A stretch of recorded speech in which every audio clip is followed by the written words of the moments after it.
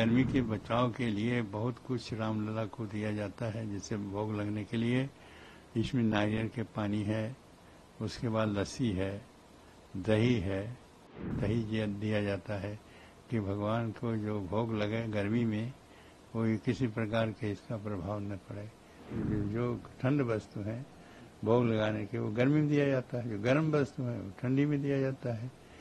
इसी प्रकार की है उनकी व्यवस्था। गर्मी के बचाव के लिए बहुत कुछ रामलला को दिया जाता है, जैसे भोग लगने के लिए। इसमें नारियल के पानी है, उसके बाद लस्सी है, दही है, और इसी प्रकार से ठंडई है। ये सबको दिया जाता है, दही दिया जाता है कि भगवान को जो भोग लगे गर्मी में वो किसी प्रकार के इसका प्रभाव न पड़े। कपड़े में परिवर्तन किया जाता है।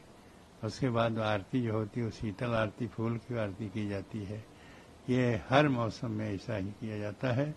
जैसे कि बालक रूप में राम हैं, राम जी के लिए कोई भी न उनके प्रसाद में, न उनके भोग में, और न उनके और व्यवस्थाओं में कोई गड़बड़ी हो, इसलिए सब कुछ गर्मी में दिया जाता है। मतलब